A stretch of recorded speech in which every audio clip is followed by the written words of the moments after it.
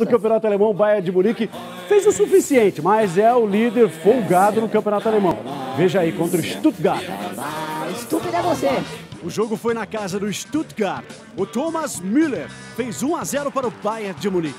O suficiente, o Bayern de Munique é o primeiro colocado, 11 pontos a mais que o segundo, que agora é o Schalke 04. O Stuttgart é 14º no campeonato alemão. Mais informações do esporte tem no massanews.com. Eu estou escrevendo a minha coluna dessa semana, é sobre o Real Madrid e Grêmio, que eu vou falar aqui, certo? Isso, eu tô participando Bacana.